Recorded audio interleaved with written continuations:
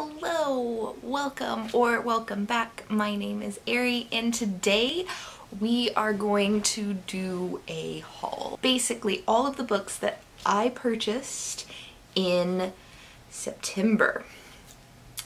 So let's just start. The first category is just kind of like some miscellaneous books that I purchased for various reasons from various websites. Two of these I have read already, but we'll get to that when we get to that. The first one, I was placing an order on, what is the name of this website?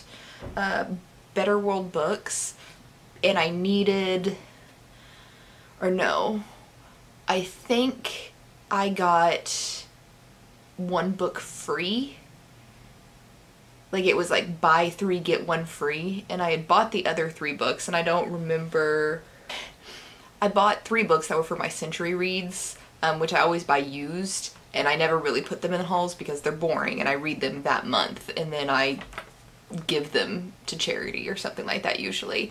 So those aren't particularly interesting books, uh, but the free one that I ended up purchasing was The Last Wish uh, by, I'm not going to say his name because I can't pronounce it, but this is the first book in the Witcher series. And if you're wondering like why it's so super shiny, this used to be a library copy. That's like the worst thing about Better Wor World books is most of the books that you get are used library copies. Um, but they're really cheap on the other hand. And since it was like buy three, get one free, I figured, hey, I kind of want to read this. Let's add it. And I got it for free. So there you go. Next up, I, whew, when was this? Middle of September, I did the Buzzwordathon where I read books that began with night. And the book that I enjoyed most from that like experiment I ended up buying, which was Coffee Days Whiskey Nights by Cyrus Parker. Um, this is a book of poetry and it is beautiful on the inside where all the poems with like dark topics are written uh, white ink on black paper and all the poems with light topics are written white ink or black ink on white paper. That's harder to say than it looks. But yeah, I really enjoyed this poetry collection, so I supported the author and bought the poetry collection. And then the final book I bought was The House in the Cerulean Sea by TJ Klune. I have heard absolutely nothing but wonderful things about this book from people. It's just one of those fantasy books this year that came out this year that everybody likes and I've read it already and it was very cute um, I'm not I don't think in love with it as most people are but it was a very very sweet, moving read. So if you need something light and happy uh, and you like fantasy, I would definitely suggest picking this one up. My next stack looks like this and that's a lot of books. And yes, yes it is. What this stack is, is all non-fiction books that I have purchased from a independently black owned bookstore called Books and Crannies, which I'll leave their link down below if you want to order from them. Um, the reason that I placed this order is A, I went to go pick up a nonfiction book for me to read last month, but only had one left. And so I was like, oh, I should just order a bunch of them on my like wish list TBR. And then I know the Black Lives Matter, I know the Black Lives Matter movement has been like dying off in like advertisements and businesses and stuff like that and that's bullshit. Like nothing's changed.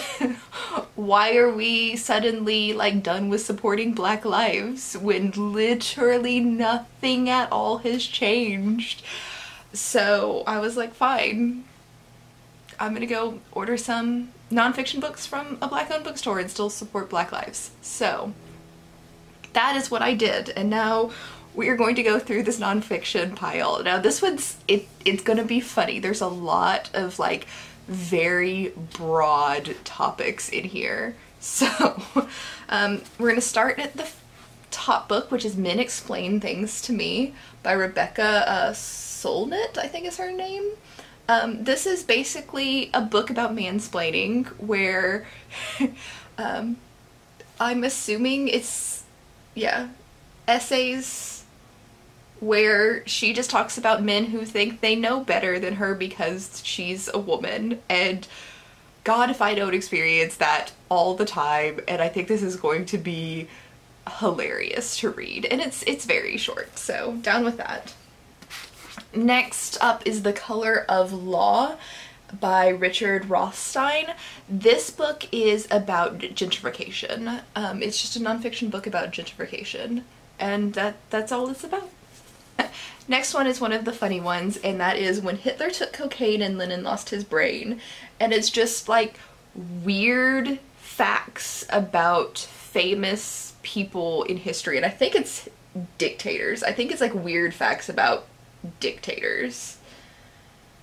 Um, but I'm not entirely sure, but it sounded ridiculous, so I bought it. Next up is a book called No Visible Bruises by Rachel Louise Rachel Louise Snyder. This book is about um, domestic violence and like why we don't handle domestic violence well in the US and probably like what we should do to, you know, support women better. I know it's a hard, hard concept. Support non-white males. Um, next up is This Book is Gay by Juno Dawson. Juno Dawson is a trans author and I have no idea what this book is about, but it is very gay, so I'm excited to read it eventually. The next two books are very similar and I didn't know which one is um, the better pick, so I bought both of them and they're both about um, black women's hair. And this is uh, The Tangled History of Black Hair Culture called Twisted, and then this is Hair Story, um, Untangling the Roots of Black Hair in America. And I think this one is from a British standpoint and this one is from an American standpoint. I think that's the major difference between the two of them. But they're both about um, black women's hair or just black hair in general. And um, that was just a topic that I honestly don't know much about. And from my personal perspective, like I can understand that black people do have a lot of issues with their hair and how other people treat them because of their hair and I'm just not aware of those things so I wanted to educate myself on the topic and so I got two books that are going to help me educate myself on the topic of black hair. Next up is a book called Eloquent Rage um, and it's about being a person of color, but specifically being a feminist of color. And um, over my last few months of reading a lot about Black lives, I noticed that um, feminism and black feminism tend to be a completely separate thing. And so I wanted a book on the topic of black feminism so my feminism can support more than just white women so I got a book on it. Um, next up is a book called Bias, and this by uh, Jennifer Eberhardt, I guess. Um, and this is just about like uncovering prejudices that we don't realize we're being like prejudiced about. Like it's unconscious bias and this is just one of those books that I want to read to help educate myself on things that I might be biased on and I might not even realize that that is an unconscious bias. So that's what this one's for. And then the very last one is a book that doesn't sound like anything I would ever read, but my friend Trey, who picks out my book order for me every month, said that he very much enjoyed this book and it's not a self-help book. So if he lied to me and this is a self-help book, I'm I'm coming for you, Trey. But this is The Power of Habit. Um, supposedly it's why we form habits and not how to form habits. And if it's a why we form habits, I'm down to read that, but I hate self-help books. Like I don't know why. I like nonfiction where I can educate myself about like ex- like not extreme, but where I can educate myself about topics that maybe I don't know so much about and then make myself a better person through education. I hate somebody telling me I need to do something to be a better person. Like or to form habits or drink water or whatever. Um, but yeah, that sounds really weird, but I hate self-help. But if it's a book about why we form habits, that sounds interesting enough. I could do that. So that's the last book. So the final section is going to be ah, my book boxes for September. Alright, this is October's box because it comes at the end of the previous month. So even though I got this in September, it's October's box. So September's teas were a raspberry pomegranate granite raspberry pomegranate tea by Ahmad Teas, which was decent. It was fine. Um, there was a Morning Star caffeine free tea by Akshar Tea, which I didn't try. Um, there's an Asheville Grey by Asheville Teaco, which was fine. And then the French Breakfast Tea by Churchill's Fine Teas, which was also fine. Um, I didn't drink a whole lot of tea this month because it's just been super crazy hot, but everything that I did try was mediocre and nothing stood out as like amazing, but also nothing stood out as like horrible. So for October teas, put that, uh, oh, I thought I got a peppermint tea again. I was so mad, but it's an Irish breakfast tea, not a peppermint tea. So the first tea that I have in here is again by Stash Tea and it is a super Irish breakfast tea. Stop focusing on my face. Um, and yeah, I've had Irish breakfast tea before. Um, I used to drink it a lot when I was like a teenager, but not particularly that brand, so maybe I'll love that brand.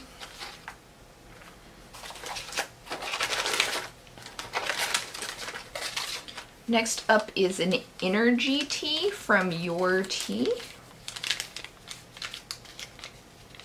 Uh, it is very, very plain packaging. There's nothing at all on the back. Let's see what the energy tea is on this thing. The energy tea, green tea, American ginseng, uh, tangerine peel, uh, euphorbium bark? I don't know what that is. There's a bunch of things on here that I've never heard of. But it has lavender in it and I love lavender, so sold. Um, Irish breakfast tea is basically a black tea with a lot of caffeine. Um, energy tea also obviously has a lot of caffeine because it's called energy tea.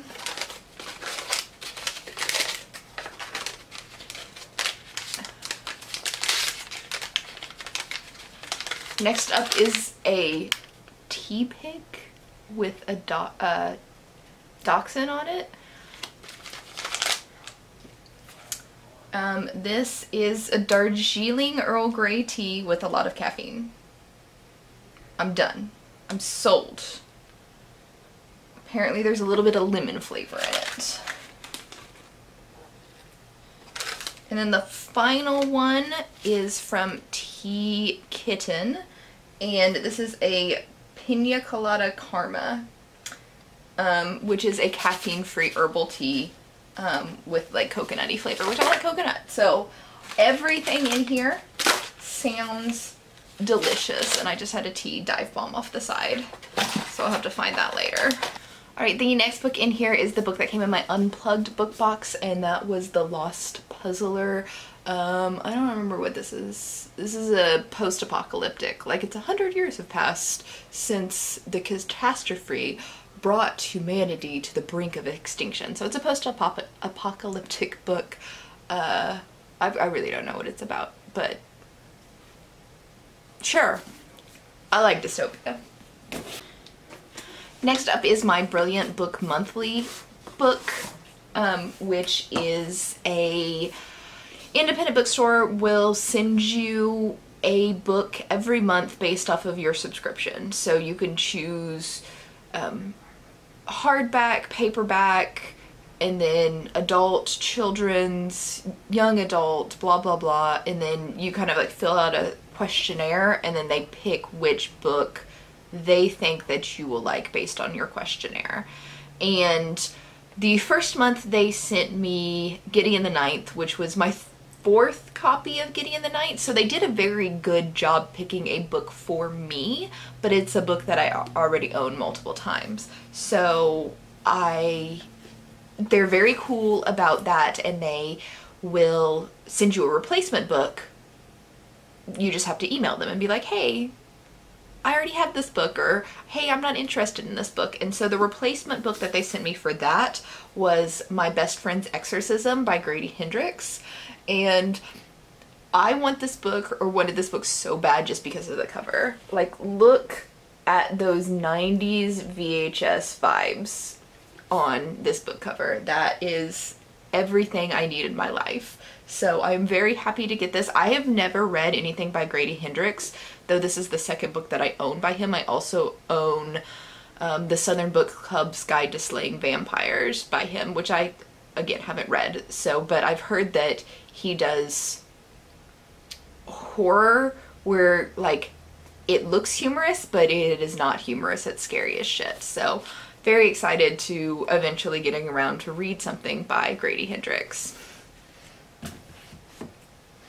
And even if I don't like that book, that cover is awesome, so I'm happy to have it. And for this month's book, they sent me uh, The Remaking by Clay McLeod Chapman, which is also a horror book. Um, that's apparently won quite a few awards. I don't really, I've never heard of this one.